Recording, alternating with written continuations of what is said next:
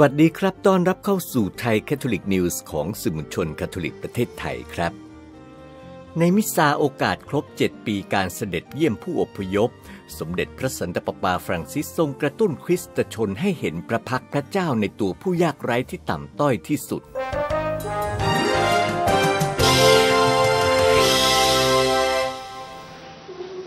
วันพุธที่ 8 กรกฎาคมเวลา 11 นาฬิกา สมเด็จพระสันตะปาปาฟรังซิสเสด็จถวายมิสซา ณ วัดน้อยในหอพักซางตามาร์ทาโอกาสครบรอบ 7 ปีการเสด็จเยี่ยมผู้อพยพบนเกาะลัมเปดูซ่าในอิตาลี วันนี้พระองค์ทรงกระตุ้นคริสตชนให้มองเห็นพระพักตร์พระเยซูเจ้าในตัวผู้อพยพ ผู้ลี้ภัยและผู้พลัดถิ่น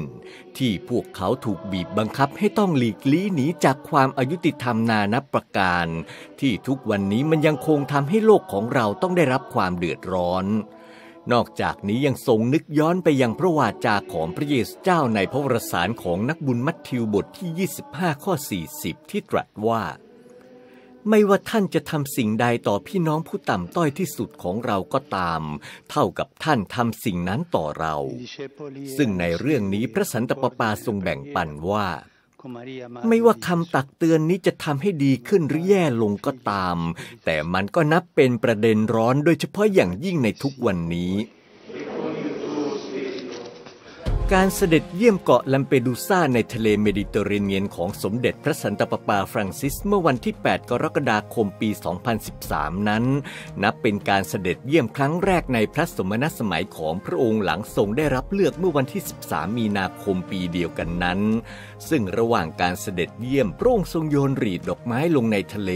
เพื่อเป็นการรำลึกถึงบรรดาผู้อพยพกว่า 20,000 คนที่ต้องจบชีวิตลงขณะพยายามข้ามทะเลเมดิเตอร์เรเนียน โอกาสนั้นทรงพบปะและสนทนากับผู้พยพเยาวชนชาวแอฟริกัน ก่อนจะทรงถวายมิสซากลางแจ้ง การเสด็จเยี่ยมครั้งนั้นนับเป็นเครื่องหมายที่น่ายกย่องของพระสันตะปาปาชาวอาร์เจนตินที่ทรงต้องการให้พระศาสนาจักรคาทอลิกเป็นพระศาสนาจักรที่ครอบคลุมออกไปจนชายขอบ เพื่อรวบรวมทุกคนเข้าด้วยกันโดยไม่มีผู้ใดถูกทอดทิ้ง ในบทเทศสมเด็จพระสันตะปาปาทรงตั้งข้อสังเกตไปที่บทเพลงสดุดีวันนี้ที่ร้อยสิบหกขอบพระคุณพระเจ้าที่ทรงช่วยเหลือ ที่พูดถึงเรื่องการเสาะแสวงหาพระพักพระเจ้า พระองค์ตรัสว่า ท่าทีที่เป็นพื้นฐานสำคัญนี้เอง คือเป้าหมายสูงสุดของคริสตชนทุกคน ซึ่งเรื่องนี้ในบทอ่านที่หนึ่งประกาศโศกโฮเชยาได้พูดถึงชาวอิสราเอลที่ตีตัวออกห่างพระเจ้าด้วยเพราะความอุดมสมบูรณ์ ความเจริญรุ่งเรืองและความมั่งคั่ง นี่จะทำให้จิตใจของพวกเขาเต็มไปด้วยความทุจริตและความอายุติธรรม เป็นบาปซึ่งแม้แต่เราคริสตชนยุคใหม่ก็ยังไม่มีภูมิคุ้มกันเลย และเมื่อทรงนึกย้อนไปถึงบทเทศของพระองค์เมื่อเจ็ดปีก่อนที่เกาะลัมเปดูซาพระองค์ตรัสว่า วัฒนธรรมที่ฝักใฝ่เอาแต่ความสะดวกสบายนั้นทำให้เราคิดถึงแต่ตัวเราเองทำให้เราด้านชาไม่รู้สึกทุกข์ร้อนกับเสียงร้องของผู้อื่น วัฒนธรรมแบบนี้มันทำให้เราเกิดภาพลวงตาเพียงแค่ชั่วประเดียวประดาวซ้ำยังกลวงโบอีกด้วย อันจะนำเราไปสู่ความเมินเฉยไม่แยแสใส่ใจผู้อื่น แม้กระทั่งต่อโลกของผู้คนที่เมินเฉยเองก็ตาม เรากลับมองเห็นความทุกข์ร้อนของผู้อื่นเป็นเรื่องธรรมดา เพราะมันไม่กระทบกับฉันนี่มันไม่เกี่ยวอะไรกับฉัน และมันก็ไม่ใช่ธุระอะไรของฉัน แล้วตรัสสะท้อนเสียงของประกาศสุขโฮเชยาที่เรียกร้องให้เรากลับใจว่า จงหวานความชอบธรรมไว้สำหรับตนเอง และจงเก็บเกี่ยวผลของความรักมั่นคง จากนั้นจึงตรัสอธิบายต่อไปว่า การแสวงหาพระพักพระเจ้านั้นจะนำมาซึ่งความปรารถนาที่จะพบปะกับพระเจ้าเป็นการส่วนตัว เหมือนที่ได้เกิดขึ้นกับอัครสาวกทั้ง 12 ดังที่บรรยายไว้ในพระวรสารวันนี้ การพบปะเป็นการส่วนตัวกับพระเจ้า ซึ่งเป็นห่วงเวลาแห่งพระหันสถานและความรอดนี้ จะส่งผลให้เกิดภารกิจในทันที คือเพื่อที่จะประกาศว่าพระอาณาจักรสวรรค์ใกล้เข้ามาแล้ว แล้วจึงทรงเน้นย้ำว่า การพบปะและภารกิจไม่สามารถจะแยกออกจากกันได้ และภารกิจนี้ก็มีไว้สำหรับสิทธิพระคริสต์ในสหัสวรรษที่สามนี้ด้วยเช่นกัน ซึ่งในขณะที่เราพยายามแสวงหาพระพักพระเจ้าอยู่นั้น เราก็อาจจะจำพระองค์ได้ในใบหน้าของผู้ยากไร้ คนเจ็บคนป่วย ผู้ที่ถูกทอดทิ้งและคนต่างชาติ ที่พระเจ้าทรงวางพวกเขาไว้ในวิถีชีวิตของเรา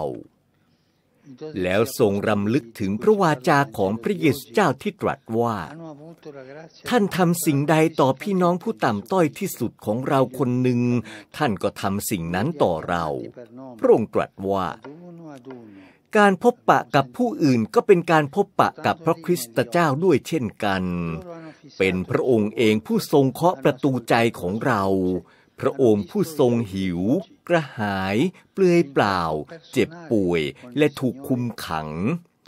พระองค์ทรงต้องการที่จะพบปะและขอความช่วยเหลือจากเรา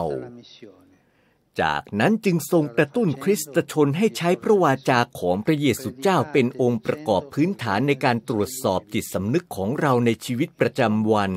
ซึ่งในเรื่องนี้พระองค์ทรงคิดไปถึงค่ายกักกันในลิเบีย ที่ซึ่งมีการล่วงละเมิดและความรุนแรง ผู้อพยพถูกหลอกเรื่องการเดินทางที่พวกเขาคาดหวัง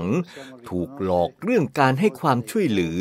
และท้ายที่สุด พวกเขาก็ถูกผลักดันให้กลับออกไป Che Dio pone sul nostro cammino. แล้วทรงนึกย้อนถึงการพบปะกับผู้อพยพในระหว่างเสด็จเยี่ยมเกาะแลมเปดูซ่า พวกเขาอุตส่าห์บรรยายอย่างละเอียดยิบถึงสิ่งเลวร้ายที่พวกเขาต้องทนทุกข์เพื่อจะไปให้ถึงที่หมาย แต่ล่ามกลับแปลความแบบสั้นๆ ครั้นเมื่อพระองค์เสด็จกลับบ่ายวันนั้น พนักงานต้อนรับซึ่งเป็นบุตรสาวของครอบครัวชาวเอธิโอเปียที่เฝ้าติดตามการสนทนาทางทีวีได้เล่าให้ฟังว่า ล่ามชาวเอธิโอเปียเขาแปลเรื่องราวการทนทุกข์ทรมานที่ผู้อพยพต้องประสบไม่ถึงหนึ่งในสี่พระองค์จึงทรงปรารภว่า แล้วอะไรคือสิ่งที่ล่ามผู้นั้นแปลล่ะ สิ่งที่ล่ามเขาแปลก็คือ เรื่องจริงที่ถูกตัดทอน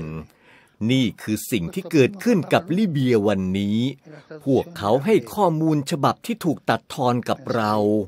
เรารู้ว่าสงครามมันไม่ดี แต่ลูกก็ไม่สามารถจะจินตนาการถึงนรกที่ใครคนหนึ่งต้องประสบในค่ายกักกันได้ คนเหล่านี้เขาเพียงแค่หอบความหวังข้ามน้ำข้ามทะเลมาก็เท่านั้น pace la sua anima, se n'è andata.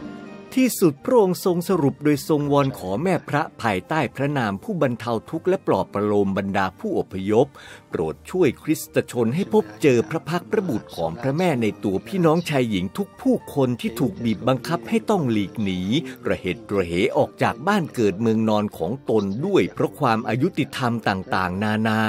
ที่ยังคงทำให้โลกของเราทุกวันนี้ต้องเดือดร้อน Il nostro mondo.